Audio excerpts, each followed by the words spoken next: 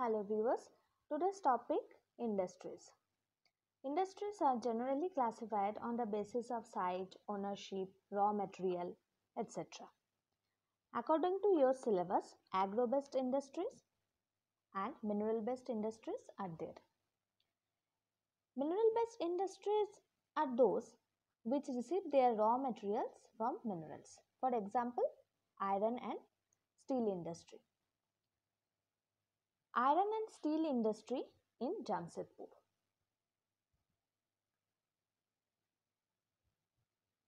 Just follow the location.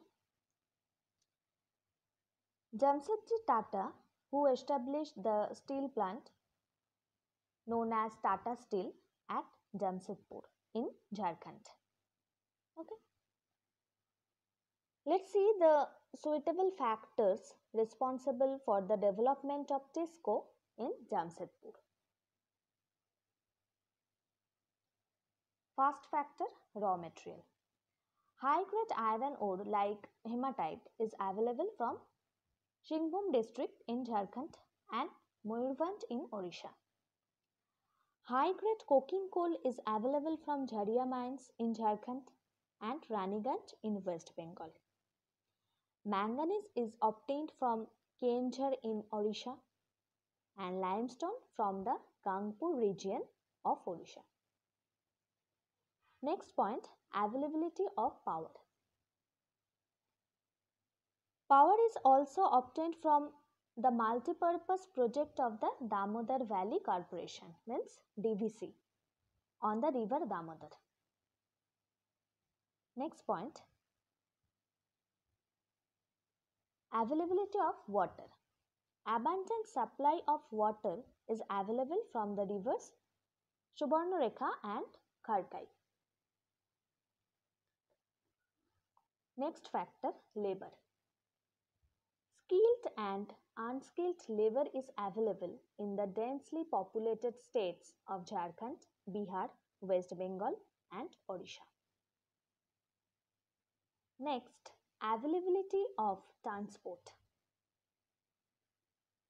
Jamshedpur is well connected to Kolkata and all the ports by the railways and modern highways. Okay.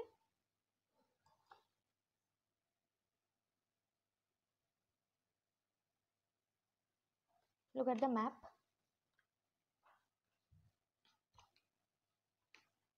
Next, Rourkela steel plant.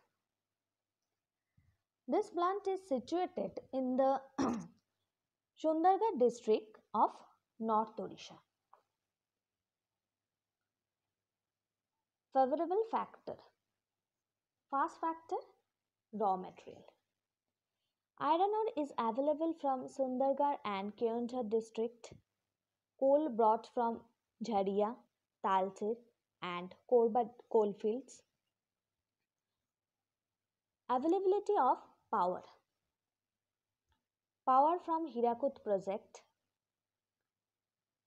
Water supply from Brahmani river.